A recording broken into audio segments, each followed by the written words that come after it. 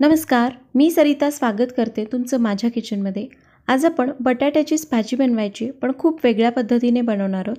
याला आपण टोमॅटो आणि बटाट्याचा रस्सा म्हटलं तरी देखील चालेल कारण इथे आपण खूप काही साहित्य वापरणार नाही आहोत. अगदी मोजक्या सामानामध्ये हा टोमॅटो आणि बटाट्याचा रस्सा तयार करायचा आहे.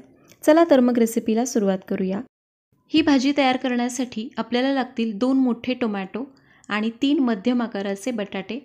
तर बटाटे इथे मी उकडून घेतलेले आहेत. आणि या तीन बटाट्यांसाठी मी दोन मोठे टोमॅटो खूप बारीक न कापता असे मोठे काप करून घेतलेले आहेत.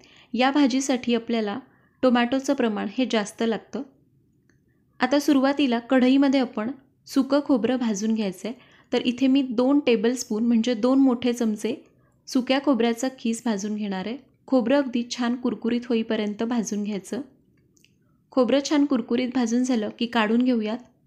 आणि हे खोबरं थंड करायचं आणि मग मिक्सरमध्ये आपल्याला याला वाटून घ्यायचं आहे आता कढईमध्ये घेऊयात दोन टेबलस्पून तेल. तेल चांगलं गरम झालं की अर्धा चमचा मोहरी चांगली तळतळून द्यायची आहे. आणि मग घालूयात अर्धा छोटा चमचा जिरं पाव छोटा चमचा हिंग आणि अर्धा छोटा चमचा हळद घालूयात. एक छोटा चमचा आलं आणि लसणाची पेस्ट घालून कमी आचेवरच याला आपल्याला एक मिनिटभर परतून घ्यायचं आहे यामध्येच कढीपत्ता घालूयात. सात ते आठ कढीपत्त्याची पानं घेतलेली आहेत. मिक्स करूयात. आणि फोडणीमध्येच थोडीशी कोथिंबीर बारीक चिरून घालायची म्हणजे तिचा स्वाद भाजीमध्ये छान उतरतो. यामध्ये आता कापून घेतलेल्या टोमॅटोच्या फोडी घालूयात. आणि याला मिक्स करून घेऊयात. आता यामध्ये पावडर मसाले घालायचे. एक छोटा चमचा लाल मिरची पावडर. एक छोटा चमचा धणे पावडर आणि दोन छोटे चमचे पावभाजी मसाला घालायचा आहे. पावभाजी मसाला आणि मीठ घालूयात. पावभाजी मसाल्यामुळं या भाजीला खूप वेगळी चव येते.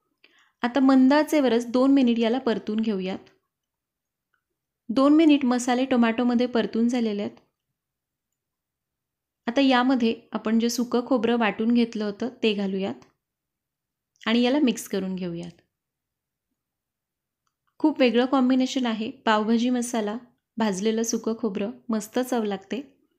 आता मंदाचेवर झाकण ठेवून याला फक्त दोन मिनिटं शिजवून घ्यायचं आहे दोन मिनिट मंद आचेवर वाफ दिल्यानंतर टोमॅटो आपला छान शिजलेला आहे.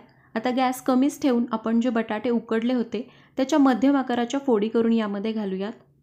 चवीपुरतं मीठ घालूयात. इथे मी अगदी दोन चिमूट मीठ घातलं आहे कारण आपण टोमॅटोमध्येही मीठ घातलं होतं. गरज असेल तरच मीठ घालावं. मिक्स करून घेऊयात. आणि आता रस्सा तयार करण्यासाठी यामध्ये आपल्याला गरम पाणी घालायचं आहे पाणी गरमच घालायचं नाहीतर मग भाजीची चव बिघडते.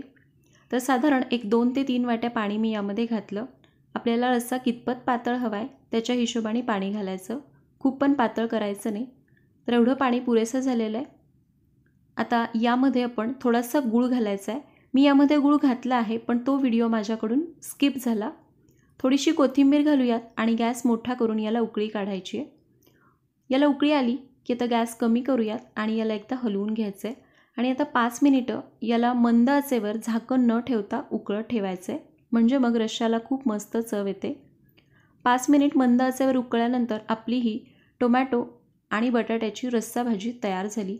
खूप मस्त चव लागते. आंबट गोड आणि तिखट त्यासोबत पावभाजीचा फ्लेवर अप्रतिम लागते ही भाजी. भात असो पोळी असो किंवा फुलका कशाबरोबरही ही भाजी मस्तच लागते. जर तुम्हाला अशाच नवीन वेगळ्या आणि छान छान रेसिपीज बघायच्या असतील आणि अजून तुम्ही सरिताज किचनला सबस्क्राईब केलं नसेल तर नक्की सबस्क्राईब करा. महत्त्वाचं म्हणजे सबस्क्राईब केल्यानंतर शेजारील बेल आयकन नक्की प्रेस करा. म्हणजे मी अपलोड केलेल्या सगळ्या व्हिडिओचं नोटिफिकेशन पटकन मिळेल आणि तुम्ही न चुकता माझ्या सगळ्या रेसिपीज बघू शकाल. चला तर मग रेसिपी आवडली असेल तर लाईक करा. ती ट्राय करा. ट्राय केल्यानंतर जर तुम्हाला चव आवडली तर मला कमेंट करून जरूर सांगा आणि तुमच्या मित्रमैत्रिणींना शेअर करा. लवकरच भेटू अशाच एका नवीन आणि वेगळ्या रेसिपीसोबत तोपर्यंत बाय बाय